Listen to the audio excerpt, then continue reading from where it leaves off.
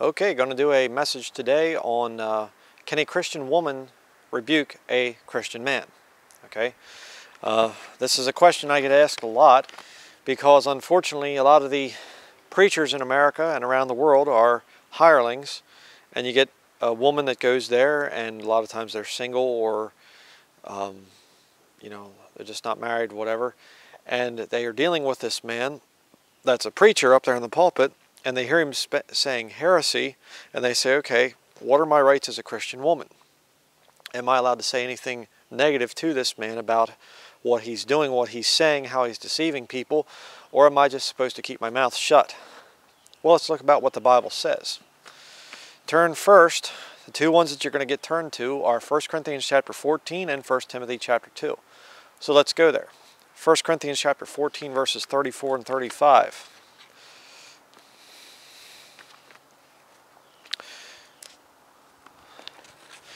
See, if you want to be a Bible believer, your standards need to come from the Word of God. And uh, you can say, well, I feel, I think, I, I kind of talk to people and they say such and such, but it comes right down to it. It's about what the book says, not about your opinions, not about my opinions. So let's see what the Bible says.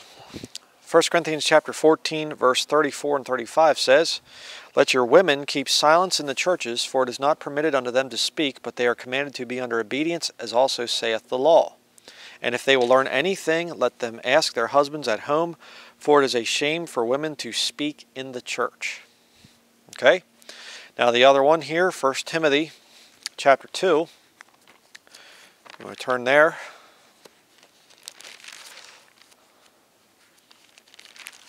1 Timothy chapter 2.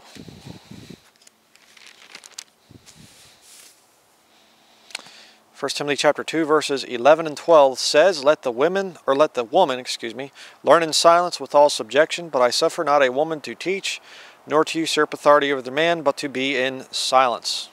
So there you have it. Open and shut case. Women are subhuman essentially when compared to men and they should be beaten and kicked around and mocked and made fun of so that's it. Thank you for watching right? Uh, no. That would be more like Islam. That's not the system that God set up. God did not set up a system where women are to be put down. That's not the point of these two verses. You see there's an old saying, and I've said it before in other studies, but I'm going to say it one more time because it bears repeating, and that is a text without a context is a pretext. Now see, if you would look at those two, those, excuse me, those four verses, two from each chapter there, you know, the 1 Corinthians 14, 1 Timothy chapter 2, if you look at those verses as they stand, well, you could use it to say women are never allowed to speak. But what's the context? What's going on there? Well, let's turn back to 1 Corinthians chapter 14. And we're going to actually read the context of what is going on there why Paul is writing these things to the Corinthian believers. 1 Corinthians chapter 14. And we're going to big, begin at verse 21 to get into the proper context. Okay? It says here, In the law it is written, With men of other tongues and other lips will I speak unto this people, and yet for all that will they not hear me, saith the Lord. Wherefore, you remember, anytime you see a wherefore in a verse, that it starts out wherefore, that verse is tying itself into the verse that preceded it. Okay, so it says wherefore. Wherefore, tongues are for a sign, not to them that believe, but to them that believe not. But prophesying serveth not for them that believe not, but for them which believe. Interesting because what do the Pentecostal charismatics say? Have you received the initial evidence of the baptism of the Holy Ghost in speaking in unknown tongues? Uh, no, I received the initial evidence of the baptism of the Holy Ghost when I got saved and I began to love truth. That's the real initial evidence of the baptism of the Holy Ghost. um, but it's interesting because they try to make it a sign for believers. It's not for believers, it's for the unbelieving Jews. And you mark it down, you listen to my study on tongues, you look at it every single time that tongues appears in the New Testament, Jews are always present. Why? Because the Jews require a sign. So it's given to the believers there in the early centuries to confirm the word to the Jews. That's what's going on there. But you see, what kind of a sign gift would it be for somebody? You know, you get this Orthodox Jew and he's over here, and all of a sudden he sees this Gentile like me walking by. And I look at him and I say to him in perfect Hebrew, Jesus Christ is your Messiah, and you people rejected him as a nation of Israel, and you need to, you know, get saved. The blood of your bulls and goats is never going to take away sins, only the blood of Jesus Christ. And I said it in perfect Hebrew. Would the Jew be impressed? yes. You know, that's what was going on back there in the first century. You had Gentiles as well as other Jews and things that were speaking other tongues to confirm the word to the Jews. Okay, it serves for those that don't believe. All right, prophesying is there for those that believe. It edifies the body of Christ. You hear about some kind of, of a prophetic thing that means that the rapture could be very near. You go, really? Wow, that's neat. That's exciting. See? So, I do believe that there are some of these things that are still there, but this charismatic speaking in tongues thing, it's just not there. There went my notes. Oh, the joys of preaching outdoors. It's probably in the 20s out here right now, 20 degrees Fahrenheit, so it's a little chilly, but uh, not going to stop me. I don't have enough sense to come in out of the cold. But uh, let's continue here. Now look at verse 23. Now this is another one that they'll use a lot of times. People will use to say that you should have a church building. But we'll see about that. If therefore the whole church be come together into one place, and all speak with tongues, and there come in those that are unlearned or unbelievers, will they not say that ye are mad? Well, look at the average modern Pentecostal church. You get somebody, you know, church building, I realize not a real church, but you get somebody that comes in there that's, that's unbelieving, or somebody that watches a Pentecostal video where they're all, you know, hush, untie, untie a bow tie, they're doing this thing. People think they're mad. They think they're crazy. See. But you say, but see, Brian, it says that there that the church is to come together into one place. Okay, then how could the church there be a building? Was the church not together if it's a building? You know, was there some two by fours over here and a, some roof metal over there and a couple bricks over here and they, they're to come together into one place? See, that verse, that's a dumb verse to go to if you're trying to prove a church building. Okay? And, you know, I understand. People say, well, you know, what if we meet in an old barn or something like that? Well, whatever.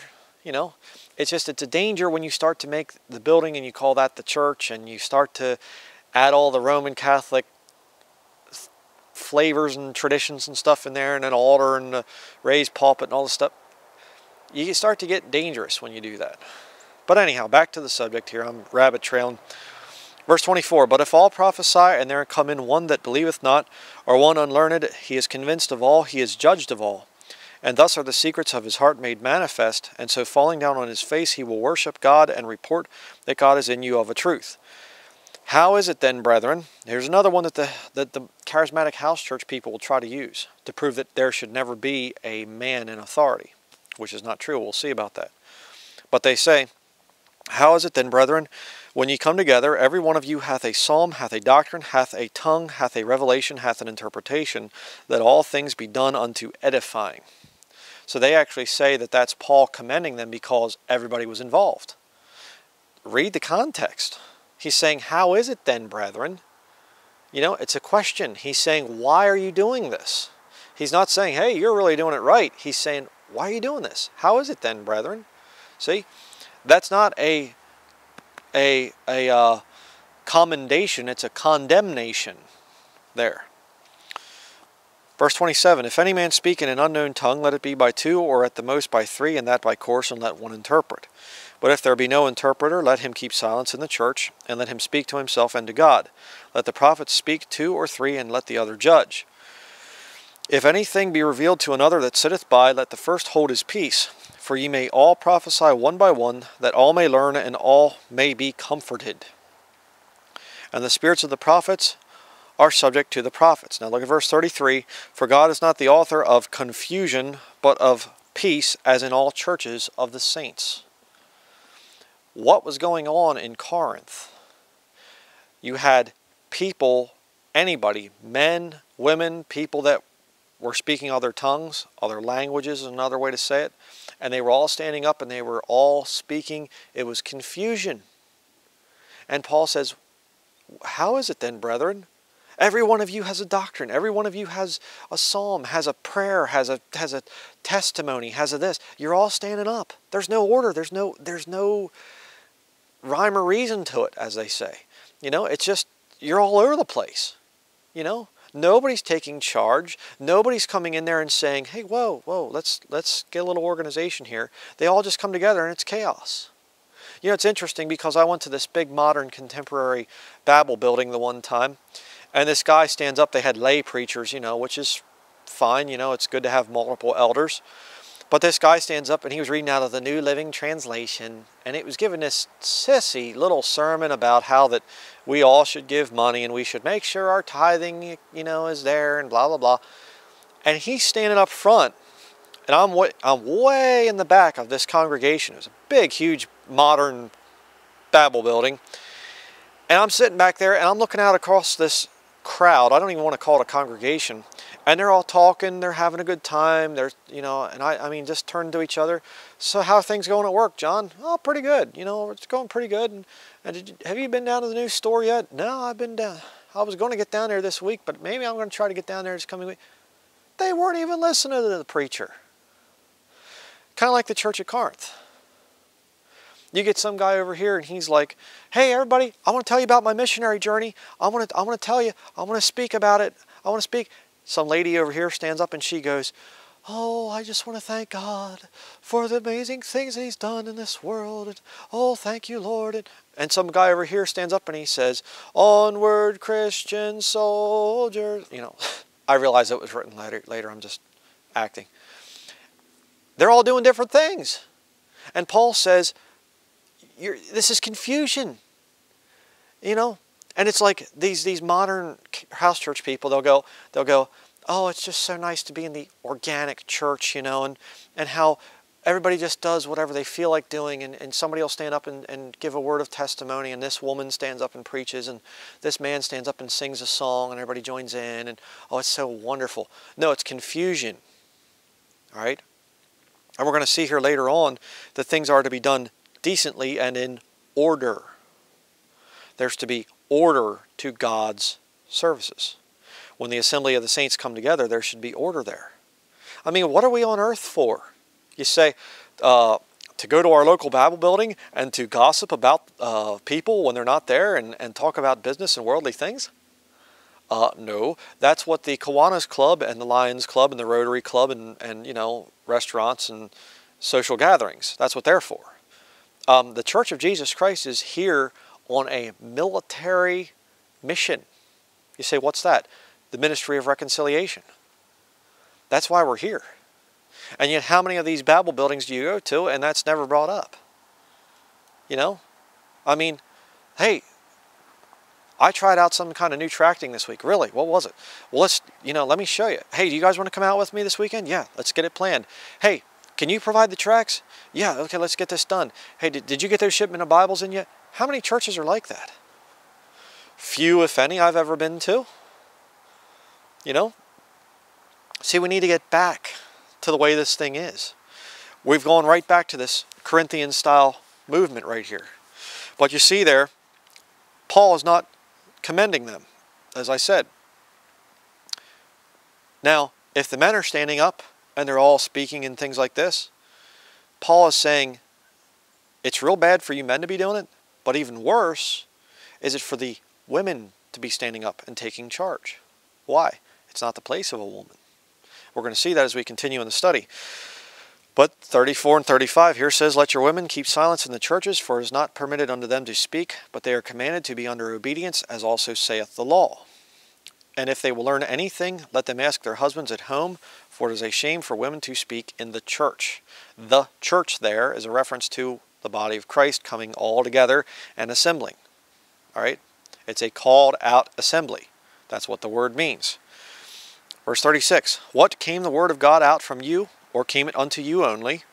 If any man think himself to be a prophet or spiritual, let him acknowledge that the things that I write unto you are the commandments of the Lord. But if any man be ignorant, let him be ignorant. If people don't want to listen to what I'm saying in this study, if you just want to do your own thing and not care what the Bible says, well, if you're ignorant, then be ignorant. Just as simple as that. Verse 39 Wherefore, brethren, covet to prophesy and forbid not to speak with tongues. Verse 40 Let all things be done decently and in order. Is there supposed to be order? Yes, there is supposed to be order among the body of Christ. When the assembly of the saints comes together, you're supposed to have the elders of that assembly, the older men who know the Bible, who have been through some things in life, those men are supposed to say, okay, everybody, let's get started. We're going to start out with hymn number such and such if you have a hymn book, or we're going to start out with this song. Let's sing this. And then Brother so and so is going to tell us of his missionary work this week. And Brother so and so is going to do this, and Brother so and so is going to do that. Oh, then women are being put down. No, no, women are not being put down. It's just that God has set an order there. This is the way things are supposed to be according to the Word of God. All right? And Paul is coming into these Corinthians and he's saying, You are wrong because every one of you is standing up and doing things. It's not supposed to be that way. Things are supposed to be done decently and in order, and the women aren't supposed to be speaking in the meeting. It's a shame for them to be standing up and speaking. So, now let's go to Ephesians chapter 5.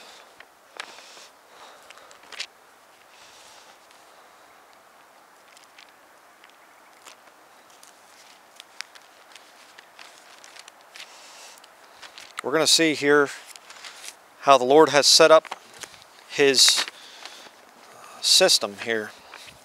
Ephesians chapter 5, verse 22 through 33. Okay, it says here, Wives, submit yourselves unto your own husbands as unto the Lord. For the husband is the head of the wife, even as Christ is the head of the church, and he is the Savior of the body. Who is the head of the church? You say the IRS through Section 501c3? no, no. Uh, the head of the church is supposed to be Jesus Christ okay? Supposed to be. He sometimes gets dethroned, you know, by people. Uh, either the government comes in and says we'll take over, or you get some puffed up hireling up there that's ranting and raving. You know, some of the videos I've brought out showing some of these guys, you know, they get an attitude and think that they're the head of the church. They're not. But uh, if Jesus Christ is the head of the church, Jesus Christ is a man, um, then who should be the one who's up there leading things. You say a woman because Mary is our mediatrix. Uh, no, sorry, I'm not a Catholic. No, it's supposed to be Jesus Christ as the head of the church and a male pastor. That's the way God set it up. You say, I don't like it, then take it up with God. That's the way it's supposed to be. And you say, well, then I guess women aren't as good as men. That's not what's going on here. It's not that women are inferior to men, women are different than men. God has different purposes than men. You say, well, then I guess a woman can never rebuke a, a man, can never question a man. Well, just stick with me here. I'm going to show you that if it's done the biblical way, yes, they can. Okay? But let's continue here. Verse 24 Therefore, as the church is subject unto Christ, so let the wives be to their own husbands in everything. Husbands, love your wives, even as Christ also loved the church and gave himself for it, that he might sanctify and cleanse it with the washing of water by the word, that he might present it to himself a glorious church, not having spot or wrinkle or any such thing, but that it should be holy and without blemish. So ought men to love their wives as their own bodies. He that loveth his wife loveth himself. For no man ever yet hated his own flesh, but nourisheth and cherisheth it, even as the Lord the church. For we are members of his body, of his flesh, and of his bones. For this cause shall a man leave his father and mother, and shall be joined unto his wife, and they two shall be one flesh. This is a great mystery, but I speak concerning Christ and the church. Nevertheless, let every one of you in particular so love his wife even as himself, and the wife see that she reverence her husband. So you see there the proper order within marriage, and it also is compared and related to the church. All right? What do you have? The hierarchy God, Jesus Christ. God and Jesus are the same, but it says there's one mediator between God and men, the man Jesus Christ, or the man Christ Jesus, excuse me.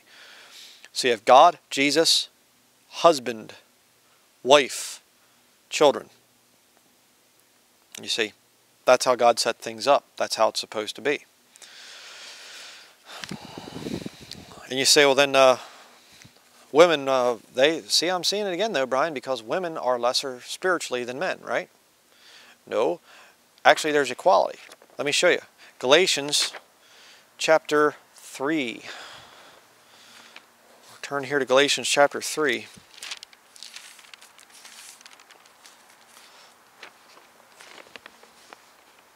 Galatians chapter 3 verse 27 says here for as many of you as have put excuse me for as many of you has as have been baptized into Christ have put on Christ there is neither Jew nor Greek there is neither bond nor free there is neither male nor female for ye are all one in Christ Jesus, and if ye be Christ, then are ye Abraham's seed, and heirs according to the promise. So, how does God see things? Does God look down and say, Boy, I sure love those Christian men. They're really good. Those women, they're lousy. Boy, I wish I wouldn't have any saved women under me. Well, when they get up here to heaven, I'm just going to you know, use them as, you know, fornication toys for the men or something like Mormonism teaches or Islam teaches.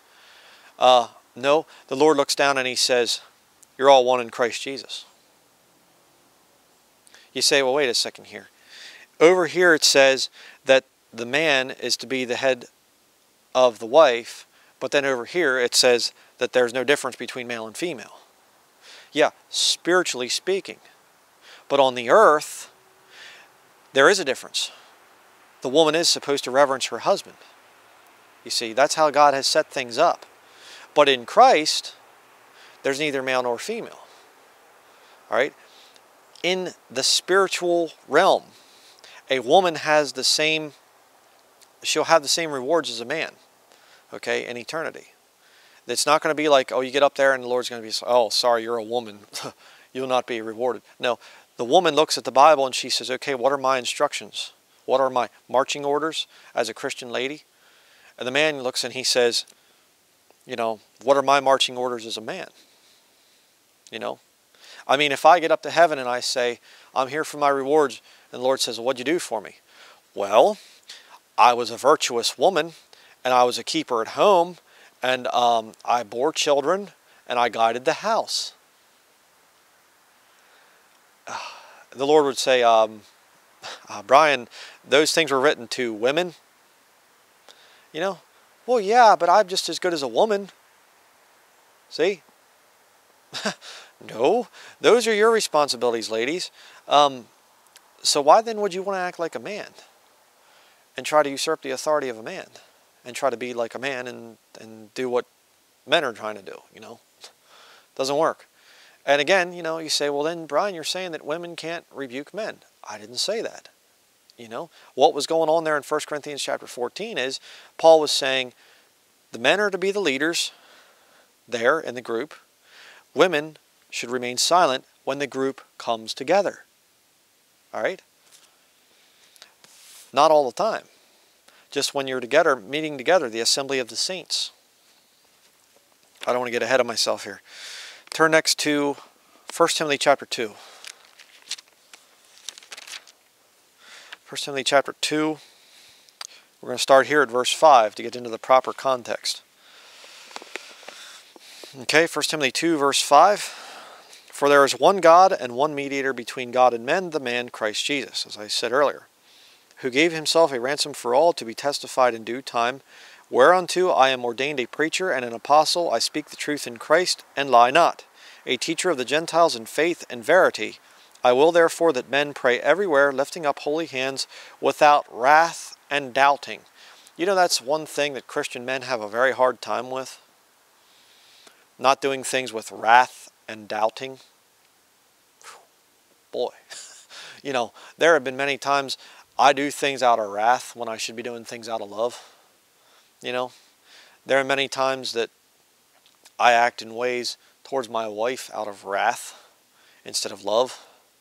And there are many times I doubt things that she's doing. And it, you know, you say, oh, I was just with your wife. No, there are times I do that same thing with the Lord. There's sometimes I'll pray to the Lord about something and I start doubting. But it says there that we're to pray lifting up holy hands without wrath and doubting. That's, you know, easy to say, hard to put into practice. But that's what we're supposed to do. That's what we're called to do as men. Now look at verse 9.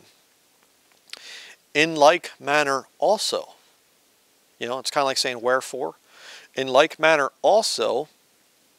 So women are also supposed to be doing these things, you know, not having wrath and doubting. They're to be praying. But in like manner also, that women adorn themselves in modest apparel with shamefacedness and sobriety, not with broided hair or gold or pearls or costly array, but which becometh women professing godliness with good works. You know, and it's it's come to uh, my attention, my sermon on modest apparel. I cover a lot about women, but I don't really say a whole lot about men. Um, there are ways that you can dress immodestly as a man as well. I just thought I needed to say that because some I got you know kind of kicked around for that, and they were right. Um, there are some things that you can do as a man to draw attention to your body. Uh, don't do that. Okay, um, it's not right. If you're causing somebody to lust, you're in sin. But you see there that a woman is to adorn herself. Her beauty is supposed to come from her personality, from who she is. All right? Her shamefacedness and sobriety. A woman is supposed to be sober. She's not supposed to be really super duper outgoing and, and whatever else. There's to be some sobriety there. That's important. Verse 11. Now here we see it. Let the woman learn in silence with all subjection, but I suffer not a woman to teach, nor to usurp authority over the man, but to be in silence. For Adam was first formed, then Eve, and, Eve, and Adam was not deceived, but the woman being deceived was in the transgression. Notwithstanding, she shall be saved in childbearing if they continue in faith and charity and holiness with sobriety. Now, I'm not going to go into all those verses there, the last three, because I already covered it in my study on 1 Timothy chapter 2. But the fact of the matter is, what you're seeing here is not that the woman is totally put down and can never say to a man, hey, wait a second there, you're wrong about this, or you're wrong about that. That's not what's going on there. What's going on is Paul is saying when it comes to saints getting together, when it comes to authority there, the woman is to be in a silent, shamefaced sobriety. You know, she's supposed to be in a role like that. All right? Why? Well, 1 Timothy chapter 3, verses 1 through 10. This is a true saying, if a man desire the office of a bishop, he desireth a good work. A bishop then must be blameless, the husband of one wife. Sorry rules out all female pastors. Um, vigilant, sober, of good behavior, given to hospitality, apt to teach, not given to wine, no striker, not greedy of filthy lucre, but patient, not a brawler, not covetous, one that ruleth well his own house, having his children in subjection with all gravity. For if a man know not how to rule his own house, how shall he take care of the church of God? Not a novice, lest being lifted up with pride he fall under the condemnation of the devil. Moreover, he must have a good report of them which are without, lest he fall into reproach in the snare of the devil. Likewise must the deacons be grave, not double tongued, not given to much wine, not greedy of filthy lucre, holding the mystery of the faith in a pure conscience. And let these also first be proved, then let them use the office of a deacon, being found blameless. Well, there you go. Okay? So you have all men there in the whole system, and uh, women are not even mentioned, right? No, let's continue. Verse 11 Even so must their wives be grave, not slanderers, sober, faithful in all things. Well, uh, if she's not supposed to talk, how could she be known as not being a slanderer? Huh. So then a woman should be able to speak to people in certain situations and known to be honest. Yeah. A Christian lady is supposed to have a ministry, you know, I mean, uh, God's committed unto, unto us the ministry of reconciliation. Is that for men only? Or is it for men and women? Well, in the terms of when you get together in the assembly of the saints, well, sure. It's supposed to be, you know, the men in charge of the thing. You see that there in 1 Timothy chapter 3. There's no room for female pastors or female deacons. But the fact of the matter is, that's when the saints get together. That's the context of this thing. So, you know, it doesn't mean that a woman is never allowed to say anything. Okay, otherwise, you know, why say oh, oh, the wife of a deacon is not to be a slanderer? Um, there are times and places where she can and should speak up. We're going to be getting into that as we continue here. Now, are there any examples of women speaking and teaching men in your Bible? Well, turn first to Romans chapter 16.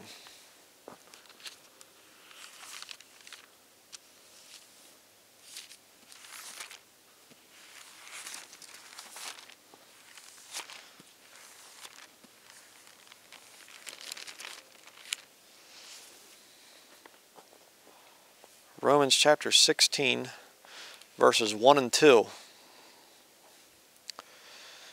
Okay, it says here, I commend unto you Phoebe, our sister, which is a servant of the church was at, which is at Cenchrea. Then ye, that ye receive her in the Lord as becometh saints, and that ye assist her in whatsoever business she hath need of you, for she hath been a succour of many, and of myself also. Succour in the King James Bible means a helper. Okay, um, so she is a great helper there. She's a servant of the church, which is at Cenchrea. So could she do that and just be silent? No. There are times a woman like that should speak. There are times a woman like that, you know. Um, I think there was another time, I think it was Phoebe, where, you know, Paul was whipped and stuff, and, and I think it was her that was like there, you know, fixing up his wounds and everything. You know, she's probably giving him some words of exhortation. A woman can know the Bible. A woman can understand things like that and can be there to exhort. Even a man like Paul, you know.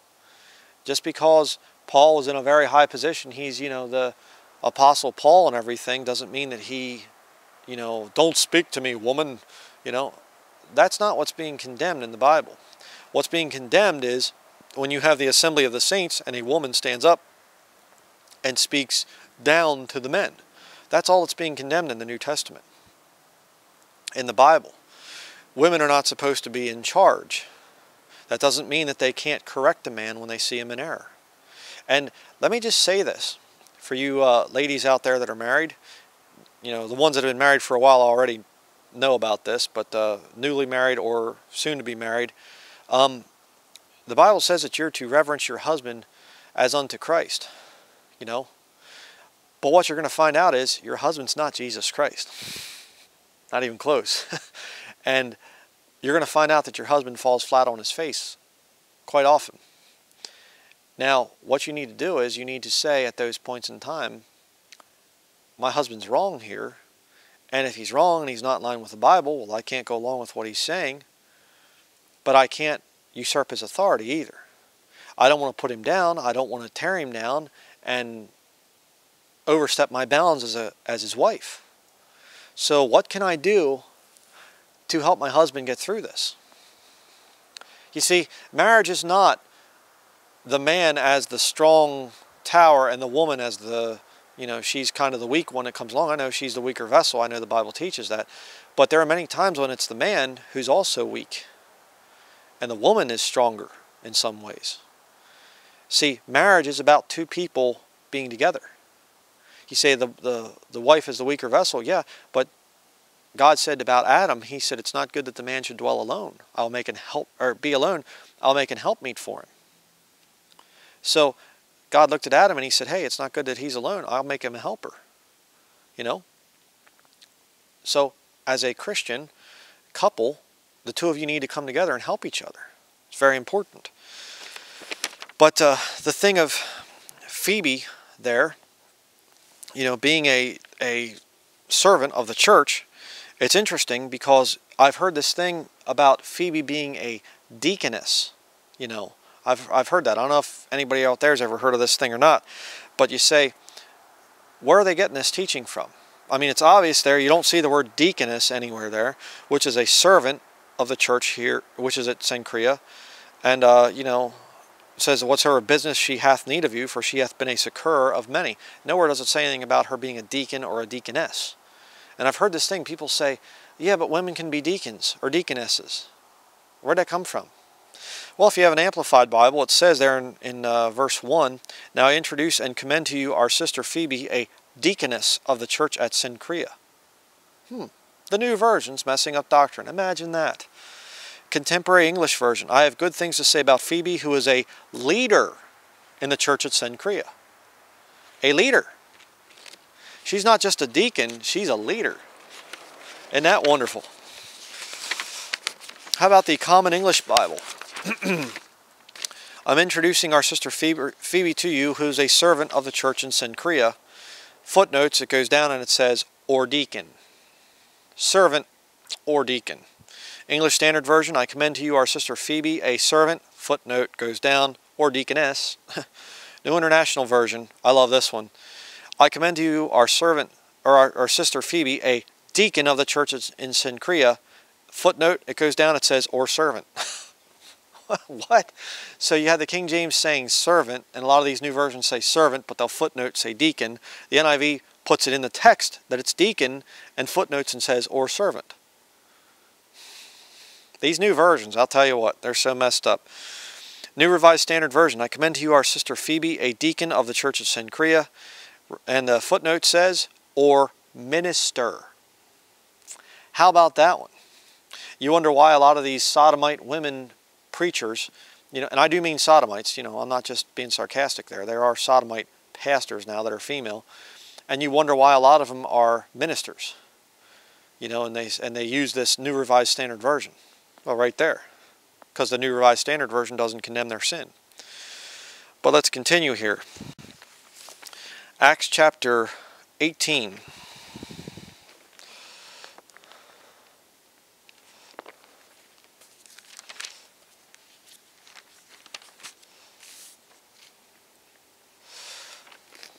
Acts chapter 18, verse 24 through 28. And a certain Jew named Apollos, born at Alexandria, an eloquent man and mighty in the Scriptures, came to Ephesus. This man was instructed in the way of the Lord, and being fervent in the Spirit, he spake and taught diligently the things of the Lord, knowing only the baptism of John. And he began to speak boldly in the synagogue, whom when Aquila and Priscilla had heard, they took unto them and expounded unto him the way of God more perfectly. Okay? And we aren't going to read the rest of the verses there. But uh, it said there, Aquila and Priscilla had heard, they took unto them and expounded unto him the way of God more perfectly. Why didn't it say that Aquila was commanded to be silent and went in and washed the dishes while, you know, I'm sorry, Priscilla. Why didn't it say that Priscilla was commanded to be silent while Aquila preached to the Apollos there, to man Apollos? No. You see, they weren't in the situation where the assembly of the saints were.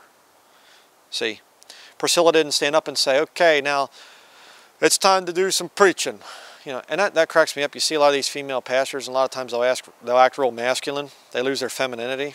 Try and act like a man, you know, because the proper position of a elder is a man. But that's another issue. But, you know, the fact is they're like, you know, here you have this godly couple, and they're actually instructing a man, the two of them, sitting down together with him and showing him the Bible and showing him, taking him through the scriptures. You say, what's this? What's the deal with this Aquila and Priscilla? How did they learn the Bible? We'll turn back to verse 1 there in chapter 18.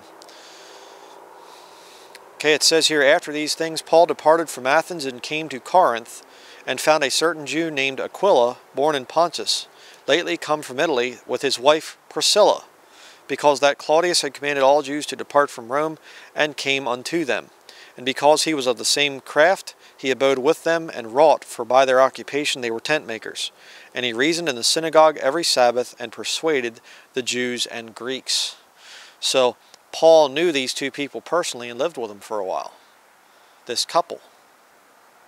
I bet they learned a few things. and you say, well, uh, oh, sure, you know, just had some conversations. No, it went more than that. Look at verse 18 there in chapter 18. It says here, And Paul after this tarried there yet a good while, and then took his leave of the brethren, and sailed thence into Syria, and with him Priscilla and Aquila, hmm. having shorn his head in Cenchrea, for he had a vow. And he came to Ephesus, and left them there, but he himself entered into the synagogue, and reasoned with the Jews. So not only did they stay with Paul for a while, or they let Paul stay with them, they learned from him, they also went on one of his journeys with him. I bet they learned a few things. In fact, I bet they learned enough things that they could teach somebody else, like Apollos, which is exactly what they did. You read about it down there in verse 24, down through the end of the chapter. Very interesting. But uh, why did Aquila take Priscilla with him on that journey? Wouldn't that have been kind of dangerous for his wife? Yeah. But you see, they were a couple that was committed to the cause of Jesus Christ. So the two of them went out together. He didn't say, honey, I'm sorry, you're going to have to stay here. You're just a woman. You dumb, stupid, poor little creature, you. God thinks so low of you, and so do I. Therefore, you stay here and cook and clean, and I'm going to go do these things myself. You just stay out of it because you're too dumb to understand the Bible. Is that what he said? No, no, no, no, no. That's not what the Bible teaches. And if, if you're believing that as a woman, that's wrong. And if I've led you to believe that, then I apologize. And, and you know, the Lord thinks very highly of women. I think very highly of women. I think that there are some very spiritual women out, women out there. My wife, she's very spiritual. She challenges me a lot in the ministry. If you haven't seen her testimony yet, watch it. You know, I mean, there are some very godly women out there. Very amazing godly women. And to say that they can never say anything against a man to correct a man. Um, my wife has saved me from some serious errors because of the fact that she has spoken to me in a loving, godly way. She comes to me in a reverent, respectful way. And if I'm doing something really stupid, well, sometimes she'll, you know, have to raise her voice a little bit at me to get through the thick skull here. But the fact of the matter is, she's here in my life to help me. That's what she's for. Now, if she's here to help me, couldn't there be Christian sisters out there that are there to help the body of Christ? Absolutely. Yeah, totally. Interesting here too, we're not going to turn here, but Romans chapter 16 verses 3 through 5 says, Greet Priscilla and Aquila, my helpers in Christ Jesus who have for my life laid down their own necks, unto whom not only I give thanks, but also all the churches of the Gentiles. Likewise greet the church that is in their 501c3 building. Excuse me, it says house. Sorry. Salute my well-beloved Epaenetus, who is the first fruits of Achaia unto Christ. So you see, it wasn't just that Aquila and Priscilla did uh, some nice things for Paul, and then they went back and they were making plenty of money with the tent making thing. They were servants of Jesus Christ. The team, the man and the woman. And she wasn't standing there like this the whole time that Aquila is preaching. She wasn't standing there like this while he's witnessing to people. They said, What's your deal? I'm not allowed to speak. No, there were times when she, I'm sure, was saying, Yeah, backing up what my husband said. This one time we were with Paul, honey, you probably you, you didn't mention this, but remember that time we were with Paul and we saw that guy that, and he, oh yeah, that's right. You tell him the story. See, there's nothing wrong with that. Very interesting. But now let's turn to one more place in the Bible and then we're done. Esther chapter 4. There are two books in the Bible that are actually named after women, godly women. So, if you're a woman, you should do well to go to these books and study the lives of these two women and see how they acted around men and see how they lived before the Lord and learn from their example.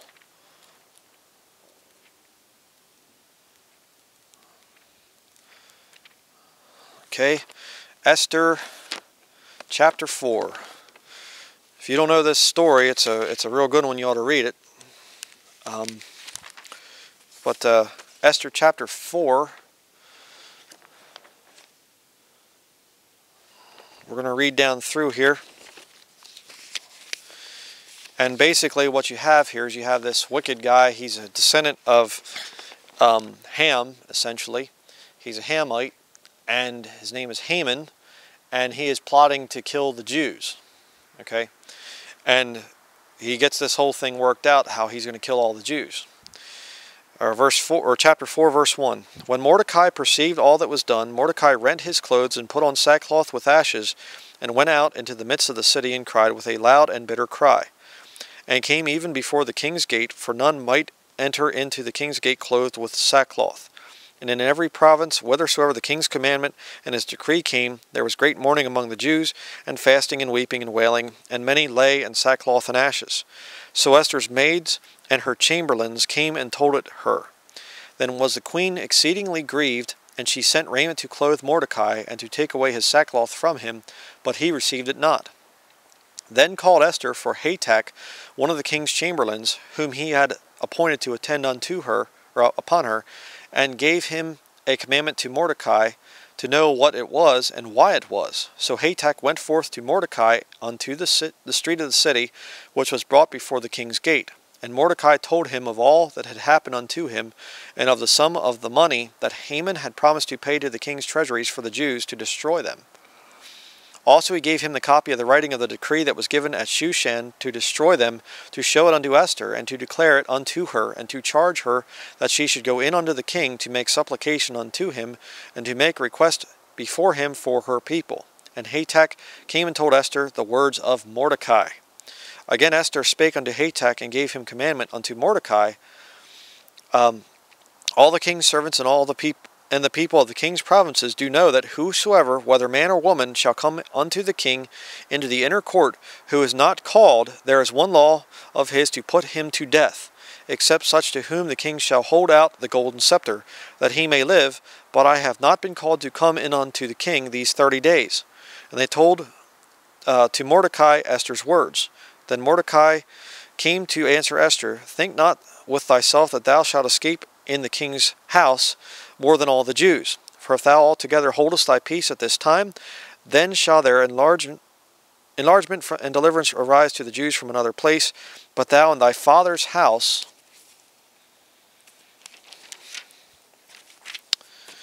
uh, be destroyed. And who knoweth whether thou art come to the kingdom for such a time as this? Then Esther, then Esther bade them return Mordecai this answer Go gather together all the Jews that are present in Shushan, and fast ye for me, and neither eat nor drink three days, night or day. I also and my maids maidens will fast likewise, and so will I go in unto the king, which is not according to the law, and if I perish, I perish. So Mordecai went uh, his way and did according to all that Esther had commanded him. Okay? Let me just stop there for a minute. Did when Mordecai said to Esther, hey, you got to talk to the king. Why didn't Esther exert herself as a strong woman? I mean, she's the queen after all. You know, go on into the king and tell him what's going on. Why did she do that?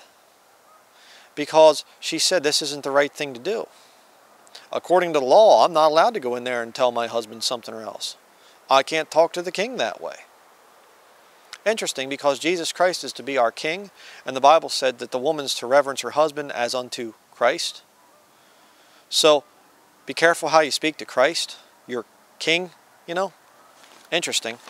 But you see there, she didn't just say, oh, I'm sorry, I'm a woman, I can't speak to him. she didn't say that, and she didn't also say, well, yeah, I'll go tell him off, you know. There was a proper protocol there. There was a proper way to do things. See. But let's continue. Chapter 5. Read down to verse 5 here. It says, Now it came to pass on the third day that Esther put on her royal apparel and stood in the inner court of the king's house over against the king's house. And the king sat upon his royal throne in the royal house over against the gate of the house. And it was so when the king saw Esther the queen standing in the court that she obtained favor in his sight, and the king held out to Esther the golden scepter that was in his hand. So Esther drew near and touched the top of the scepter. Then said the king unto her, What wilt thou, Queen Esther?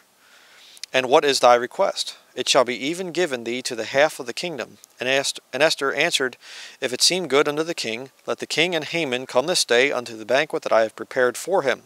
Then the king said, Cause Haman to make haste, that he may do as Esther hath said. So the king and Haman came to the banquet that Esther had prepared. All right, now we're not going to keep reading here, um, but you can read the rest of the story. And what happens is Esther basically deceives this Haman guy, first of all, to honor uh, Mordecai or Mordecai. There's different ways to say it. But she deceives him into having to be forced to honor him. And then she actually deceives Haman into coming and thinking he's being honored. In reality, she tells on him, and the king turns in wrath towards Haman and says, Kill that man and Haman is killed. And his house and everything too. You know? So a woman, in other words, was able to come to a man and speak to him in a certain way. But see, she didn't come in there and say, Now let me tell you, buddy boy. She didn't do that. There was a certain protocol there. And she came and she said, Hey, let me let me just say this thing and, and I'll pray about this and stuff. And because of her doing it that way, God blessed that. You say, what's the modern day example to that, Brian?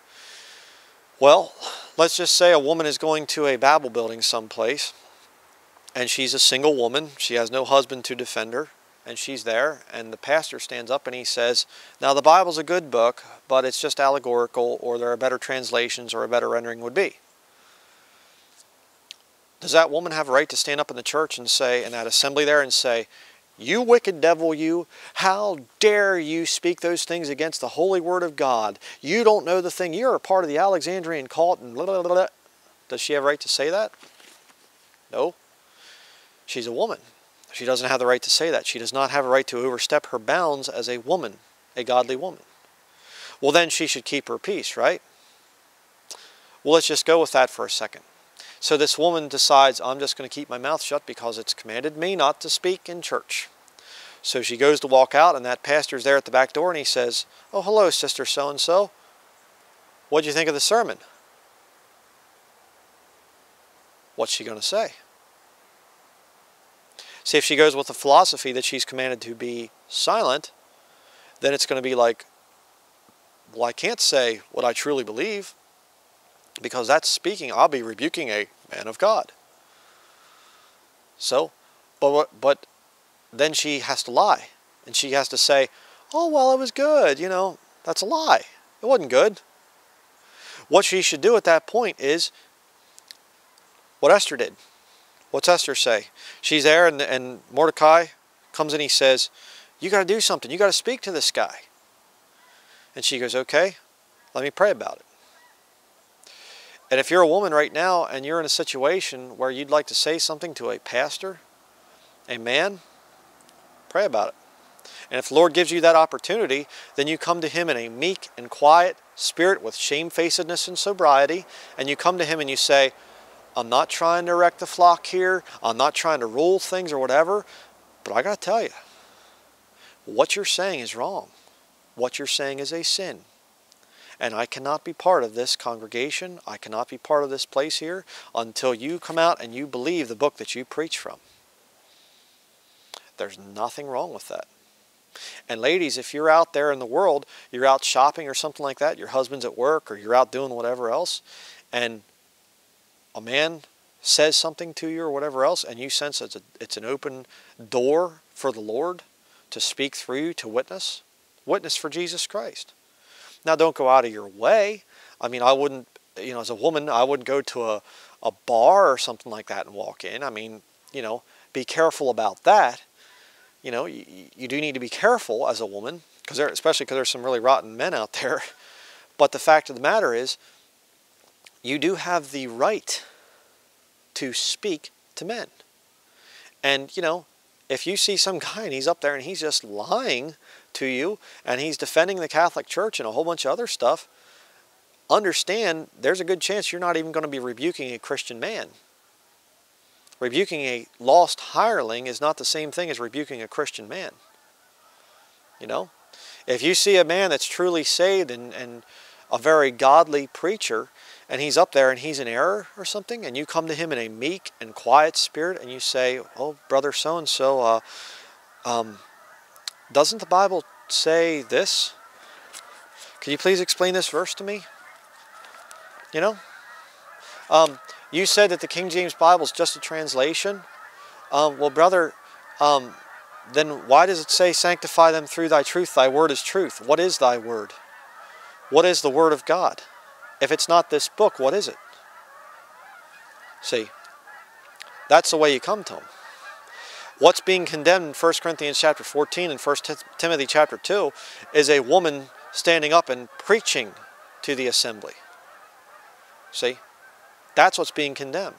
But if you as a woman, as a godly woman, you see some man that's in that's in error, gross doctrinal error, and you can show him the truth, you come to him in a meek and quiet spirit and you say, Brother, let me explain something to you.